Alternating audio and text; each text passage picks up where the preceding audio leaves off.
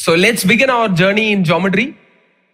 Let me give you a complete overview of uh, all chapters in geometry in just two minutes. And you will understand how easy and interesting it can become. So you start with a point, move the point to get a line, move the line to get a plane, move the plane like this to get a solid. So that's geometry. That's one way of looking at geometry. So what we are doing is started with a point. You move the point to get a line. Move the line to get a plane like this, which is two dimensional. And if I move the plane like this, I'll get solids, which are three dimensional. Now, let's simplify geometry in using common language. In, in simple language, let's try interpreting one to many. So if I try interpreting one to many in a diagram, I, I start with a point. Lot of them together, I get a line. Two lines to get an angle. Three lines, I get a triangle. Make this one to many. So two triangles together, I get a quadrilateral. Keep on adding triangles. Uh, I'll get trapeziums and pentagons and hexagons. And if I do this uh, many more times, infinite number of triangles, I get a circle like this. So circle is nothing but uh, one to many of a triangle. Now, cut the circle, straighten this out. I get a line and that's where we started from. So line can be taken as a circle with infinite radius. Circle can be taken as a polygon with infinite lines. Line to a circle and everything in between is what we need to learn in geometry, in plane geometry. It's, it's so it's very simple. So we'll first start with uh, two lines together. We call them angles. Next chapter will be three lines together, triangles.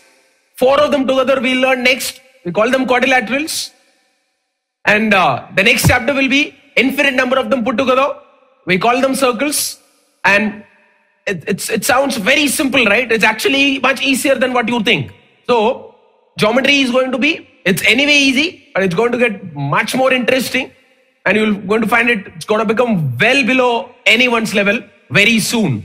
Now, let's understand geometry in a different way, but obviously in an easier way itself.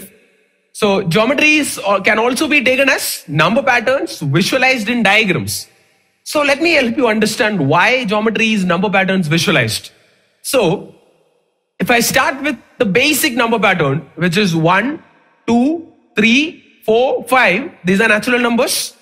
Now if I take sum of consecutive natural numbers, the numbers which I'll get is 1, 1 plus 2 if I take I'll get 3, 1 plus 2 plus 3 I'll get 6, 1 plus 2 plus 3 plus 4 I'll get 10. So these numbers 1, 3, 6, 10 we actually call them triangular numbers. Let's understand why we call them triangular numbers. So for that you just visualize 1, 3, 6, 10. How do we visualize? Let me show you. 1 is like this 1, 3 can be taken as 1, 1, 2, 6 is 1, 1, 2, 1, 2, 3 like that.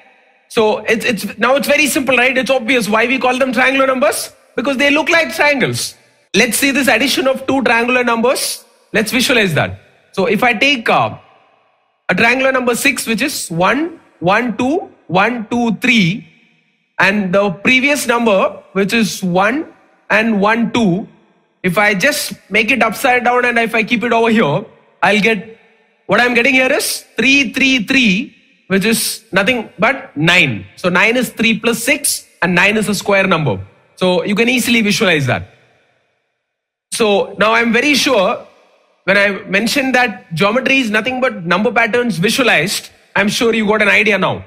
So geometry is number patterns visualized. Just to add on to it, Algebra is number patterns generalized using variables and once you represent them through words and that's what we call them applications and that's what we mostly learn in science.